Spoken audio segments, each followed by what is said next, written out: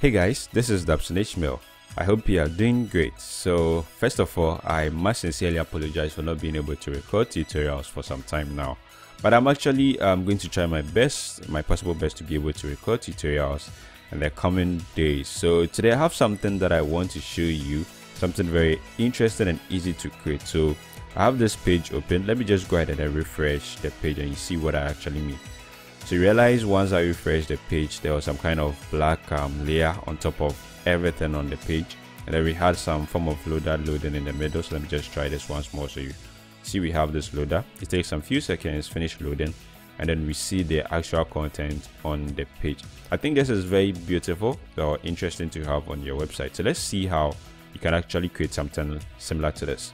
So let me just go ahead and then open up my project and then let's take a look at some of the things happening in here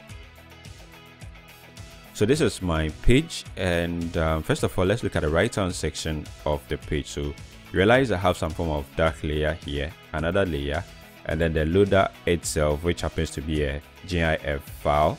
And then also we have a timer object here. So what is actually happening is that I have this layer, which is a docking layer, and then the docking mode is actually set to fill. So this actually fills the entire screen once it is um, showing. And then we have this layer in here, which is a sticky layer, and this this is actually sticking to the middle, that is the center center. So for both horizontal and vertical it's actually going to be in the middle of the page. And then we have a timer here which is actually having some kind of event set to it. So after some time is met or something is met then this is going to be shown. So we have the image which is um, which happens to be in this particular layer. So let's see how we can actually create something similar to this. Let me just go ahead i'm going to go ahead to create a new page. So let me just um, create a new page. And then i'll come back to this page and then um, highlight on everything here excluding um, these objects. I just want this particular content to be able to populate that particular page. So let me just paste everything here. And then what i'm going to do next is i'm going to come to the toolbox. This time around i'm going to search for layer 2 so i'm going to bring the layer 2 here and then i'm going to double click on this. Let me first of all set the color to black. And then um, so let me just go ahead and set the color to black. And then I'll change the mode to docking. So I'll set the docking mode to fill. And then alignment is going to be center. So I'll go ahead and then click on OK. Now I'll come back to the toolbox. I'll bring another layer. I'll draw in here. And then I'll move this layer into this layer. Now I'll have to make sure this particular layer is in the middle both horizontally and vertically in this particular layer. So all right click on it going to center in page and then select both. So that I make sure it sticks to the middle of this particular layer. Now double click on this new layer and then I'm going to change the mode of this new layer to um, this is going to be sticky and then the orientation is going to be center center. So I'll set the alignment to um, center as well and then I'll change the delay here which is very important. So I'll change this to zero.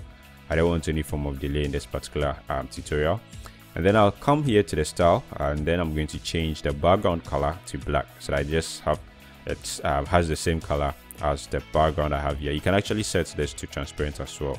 So let me I can just go ahead and then change this to transparent and then that is still going to be the color of this because this is um, set to no color. Now I need a loader. So how do I get the loader so let me just go ahead and then open up my browser.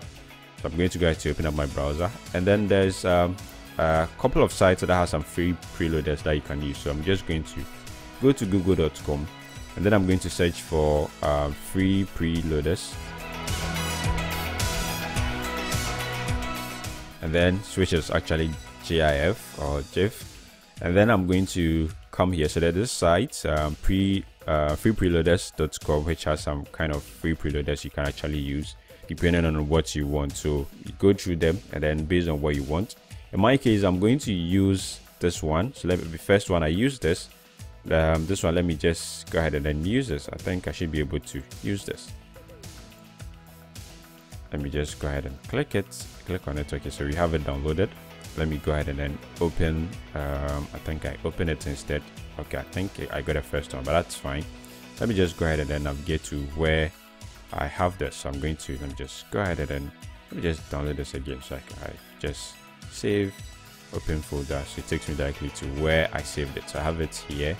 What I'm going to do is let me just go ahead and then open my project. So I'll move this. I'm using double screen. So let me just move this to the other screen and then open my WYSIWYG web builder project. I'm going to drag the image that's the gif file to this particular screen. So it's as you can see i have it here. And then i'm going to move this into this new layer. That's the small layer i have within this big layer so once i move this you realize it moves along with the image. So let me just go ahead and then position this back to where it was. Now um, as you can see I have this. So what this is going to do is that uh, once I preview this it is actually going to be on top. But nothing is happening because that is what I've asked to be on top.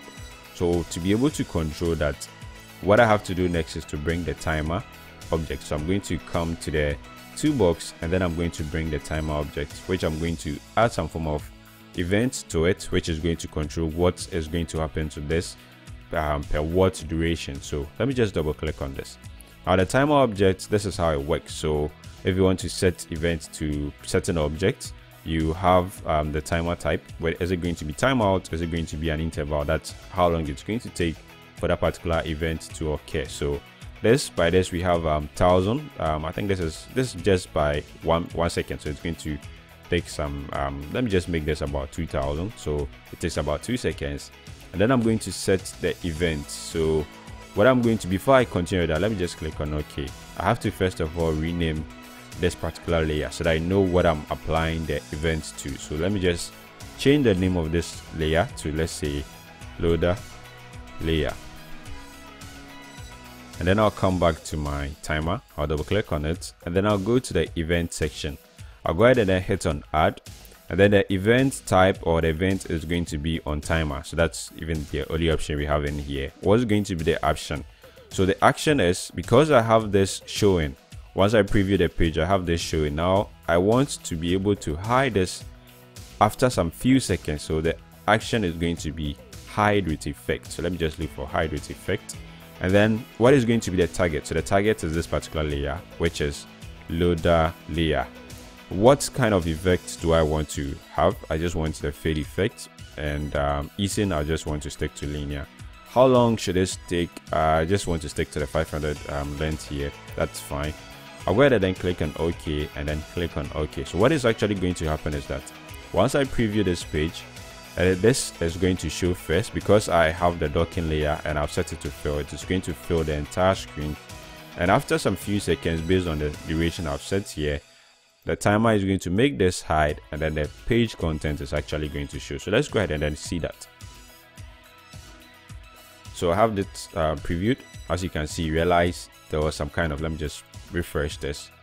This uh, took some few seconds and then after the um, loader was done based on our discretion the timer we've set we actually have the page content showing so that's how to go about adding a customized preloader to your website project in WYSIWYG Web Builder. Before I go, in case you have any tutorial that you want me to record on, kindly leave um, comment in the comment section below. I'll try my possible best if I can work on them for you. So once again, this is Dapson Ishmeal. Thank you very much for watching. Bye for now.